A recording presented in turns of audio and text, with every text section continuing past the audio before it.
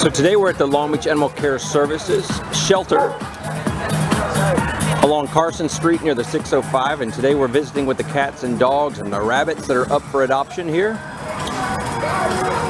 This is the Yappy Hour and the Valentine's Card Contest. We're going to be giving out a pizza party for 30 people to the winner of the card contest and students all around the city of Long Beach and even further have created Valentine's cards and we've hung them here on the cages. Um, just to give the, the shelter pets some something to look at and just to let them know that they're loved. We're visiting with them today. We've got about 200 um, volunteers who are, have come out just to visit with these animals today for this Yappy Hour.